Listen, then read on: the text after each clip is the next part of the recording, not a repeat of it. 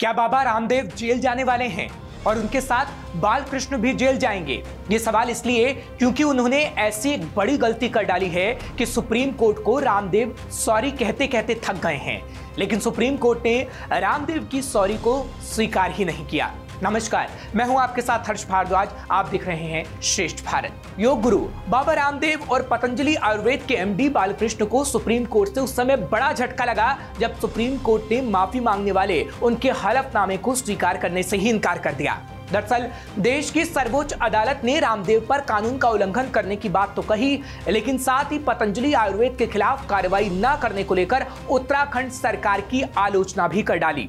तो चलिए, सबसे पहले आपको मामला बताते हैं कि आखिर मामला क्या था, जिसके लिए सुप्रीम कोर्ट ने रामदेव की माफ़ी को भी अस्वीकार कर दिया, और अब इस मामले में रामदेव जेल भी जा सकते हैं। दरअसल, इंडियन मेडिकल एसोसिएशन ने अगस्त 2022 में सुप्रीम कोर्ट में एक याचिका दायर की थी। पतंजलि ने एक विज्ञापन दिया था, जिसमें कहा था कि एलोपैथी, फार्मा और मेडिकल उद्योग द्वारा गलत फहमियों से खुद को और देश को बचाएँ। बाबा रामदेव ने एलोपैथी को बेवकूफ़ और दिवालिया विज्ञान कहा था। रामदेव ने कहा था कि एलोपैथिक दवा कोविड 19 से होने वाली मौतों के लिए जिम्मेदार है, जिसके बाद इंडियन मेडिकल एसोसिएशन कोर्ट पहुँच गया और रामदेव के खिलाफ केस कर डाला।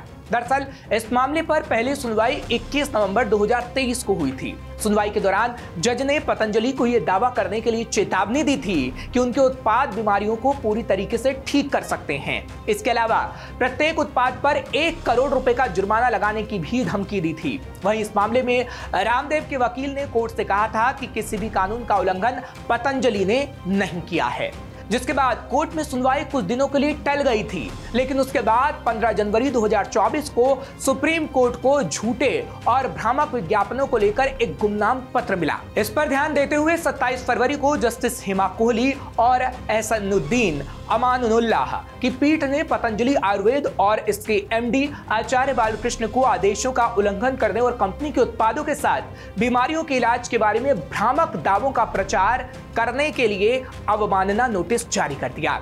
वहीं रामदेव के साथ साथ सरकार से भी इस मामले पर जवाब मांगा गया। साथ ही अदालत ने पतंजलि उत्पादों के किसी भी अन्य विज्ञापन या ब्रांडिंग पर अगले आदेश तक प्रतिबंध लगा दिया। लेकिन जब हाल ही में 19 मार्च को अदालत को बताया गया कि अवमानना नोटिस का जवाब, रामदेव ने दाखिल ही नहीं किया। तो उसके बाद कोर्ट ने बालकृष्ण और रामदेव को कोर्ट में हाजिर होने का आदेश दे दिया। यानी आप कोर्ट के अंदर आइए।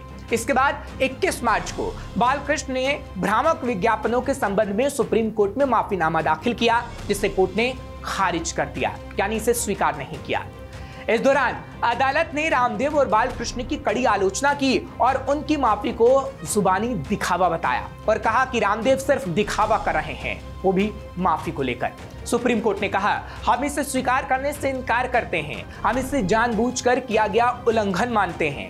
यानी रामदेव ने लोगों से झूठ बोला और भ्रामक विज्ञापन के ज़रिए लोगों को बेवकूफ़ बनाया।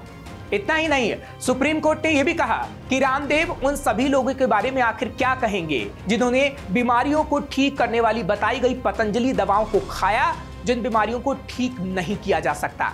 आखिर रामदेव ने ऐसा सिर्फ़ फ़ायदा कमाने के लिए किया यानी सुप्रीम कोर्ट काफ़ी सख्ती दिखा रहा था। जिसके बाद अब ये सवाल उठ रहे हैं कि रामदेव की माफ़ी तो सुप्रीम कोर्ट ने स्वीकार नहीं की। यानी रामदेव सॉरी कहते रह गए, लेकिन सुप्रीम कोर्ट ने उसे नहीं माना और उसे नहीं स्वीकारा।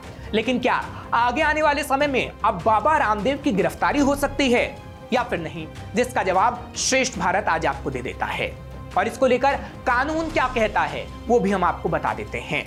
दरअसल, औषधि उपचार अधिनियम उन्नीस सौ चौवन के तहत भ्रामक विज्ञापन प्रकाशित करने पर पहली बार अपराध के लिए छह महीने तक की कैद हो सकती है। दूसरी बार, अगर अपराध किया जाए तो दूसरी बार अपराध करने पर कारावास की अवधि एक साल तक बढ़ सकती है। वहीं उपभोक्ता संरक्षण अधिनियम 2019 सीपीए की धारा नवासी में कहा गया है कि कोई भी निर्माता अगर गलत या भ्रामक विज्ञापन बनाता है तो उसे दो साल का कारावास और दस लाख रुपए तक का जुर्माना लगाया जा सकता है, जिसे पाँच साल तक बढ़ाया भी जा सकता है।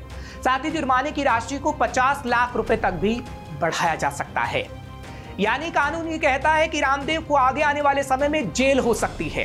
फ़िलहाल, अब इस मामले में अगली सुनवाई 16 अप्रैल को होगी। जब ये पता चल पाएगा कि रामदेव जेल जाएँगे या फिर नहीं। जिसकी जानकारी सबसे पहले श्रेष्ठ भारत आपको देगा। इसलिए देश दुनिया की तमाम खबरों के लिए आप देखते रहिए श्रेष्ठ भारत और आपको ये खबर कैसी लगी, उसके बारे में हमें कमेंट बॉक्स में ज़रूर बताइएगा। श्रेष्ठ भारत पर खबरों से जुड़े रहने के लिए चैनल को सब्सक्राइब करें, बेल आइकन दबाएँ और देखते रहें श्रेष्ठ भारत।